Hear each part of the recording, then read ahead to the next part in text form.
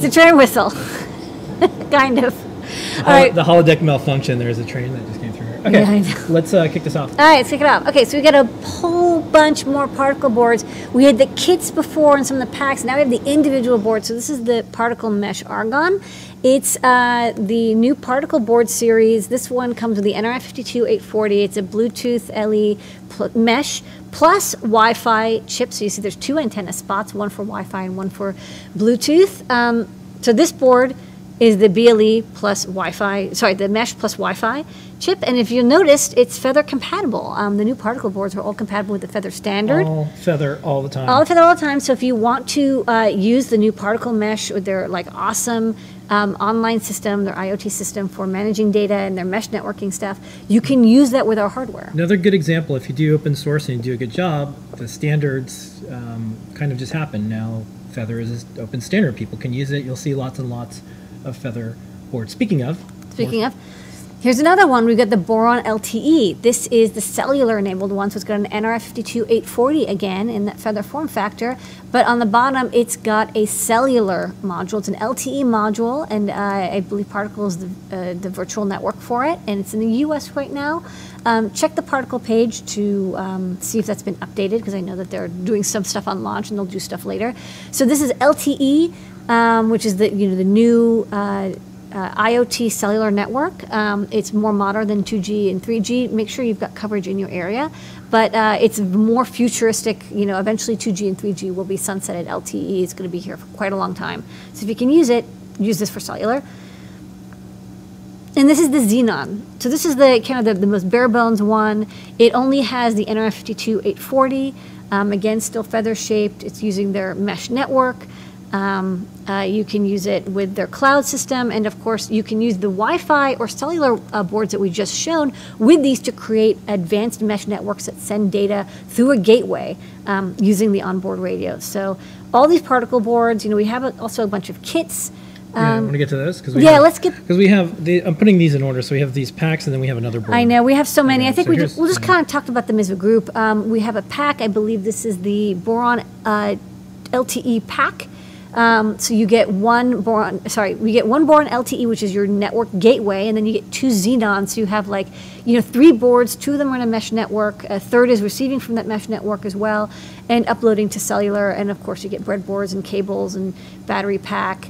This is another pack. This is a kit. I think this is also the Boron LTE. Comes with battery, breadboard, antenna, kind of everything you want. So the, the previous ones we showed were just the boards, the very bare bones. But you know, if you want to get started quickly, you want to come with an LED, with a sensor, um, with a battery and antenna. Um, you get these little kits. They're a, little, a couple dollars more, but you'll get um, going much faster.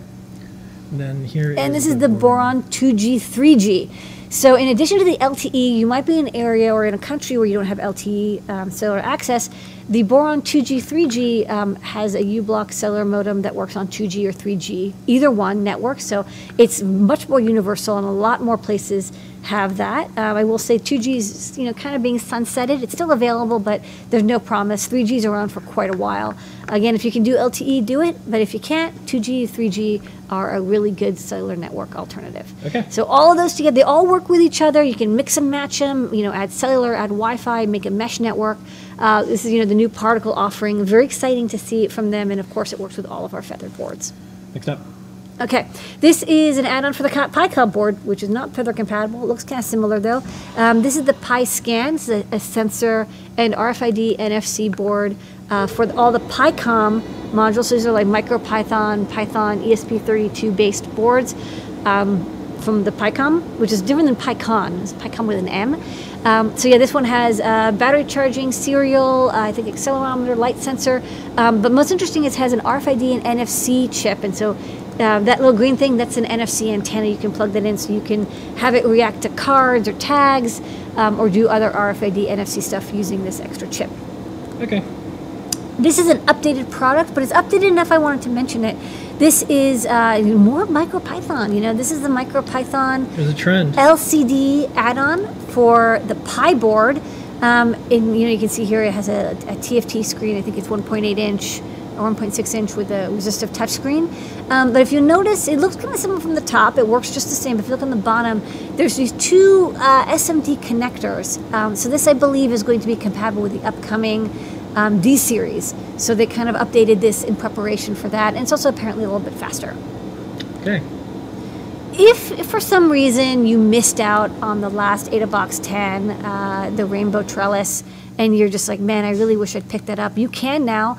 We have a couple of AdaBoxes in the store. You don't get free shipping, you don't get some of the extras, um, you don't get the secret delivered to your door the moment it comes out, so you have to wait a while. But you can pick it up.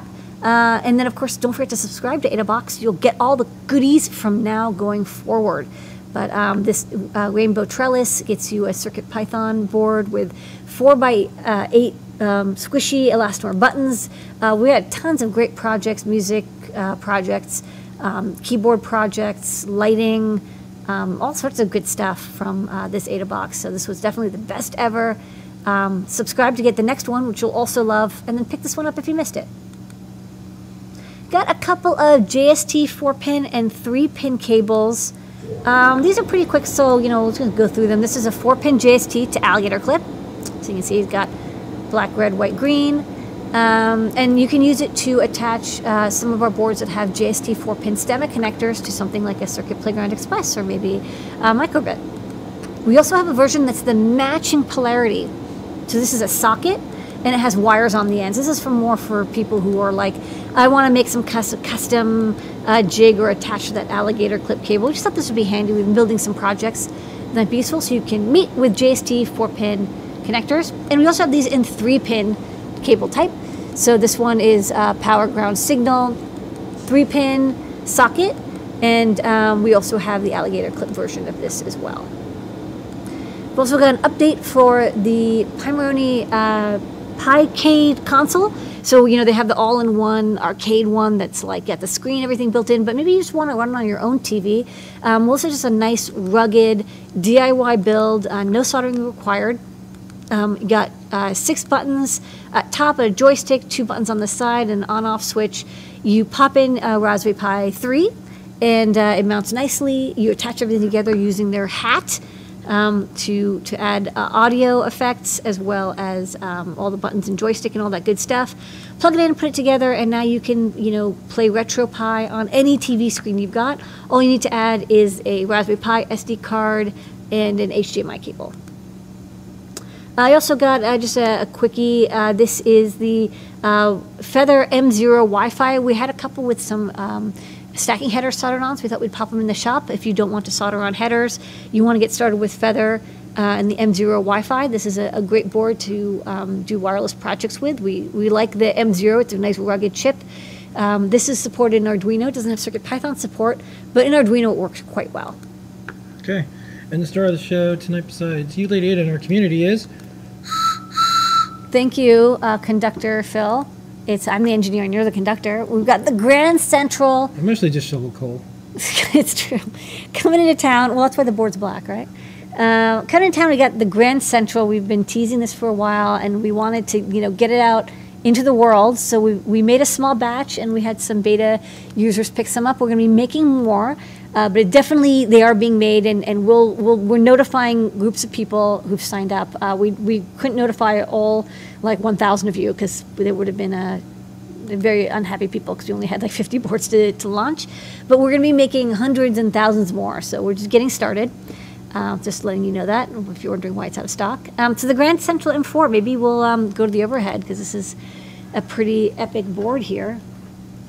So um, yeah, so it's it's the largest Circuit Python compatible board we've got. It's also one of the largest um, Arduino compatible board we've made. It features the SAMD51. Um, it's a 120 megahertz processor, Cortex M4. It's got like DSP instructions and random number generators and, and a cache. Um, it's a really wonderful chip. It's got one megabyte of flash, 256K of RAM. So it's it's just can do anything really. You stuff any data you want in RAM and you can process it quite fast. Um, the SAMD21 didn't make a chip with this many pins, so we couldn't make a mega shaped one. Only the SAMD51 finally came out with a 128 pin chip, which we needed. We needed that many pins to have all the pins do something.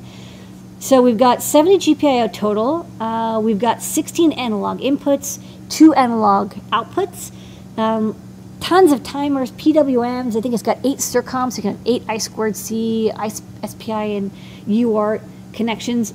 You put eight megabytes of SPI flash on there, which you can use in Arduino or in CircuitPython to hold your code. There's a debugging uh, port right here if you want to uh, connect your J-Link or um, Atmel ICE. Micro SD a micro USB for um, data upload and debugging.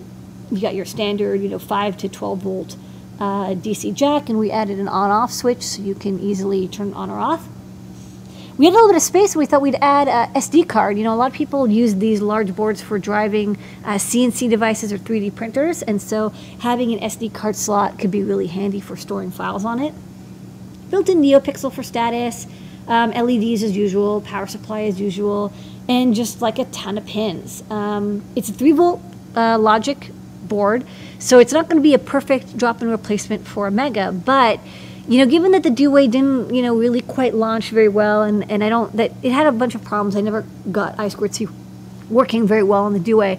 We think that this is kind of the next step up from a Mega. So if you you, know, you like the Mega, but you're like, well, I want more and I want it faster, because the Mega was only running at 16 megahertz, so this is running at 120 um, and it's got caching and it's it's just super super fast and that's not even including all all the extra Cortex M4 speedups that it's got. It's it's just blazing fast, and uh, you get now all the pins to use with it. So you've got CircuitPython and Arduino support for this. Um, even though it seems like a really big deal, it's just a really big Metro M4, and we've had that out for you know at least six months.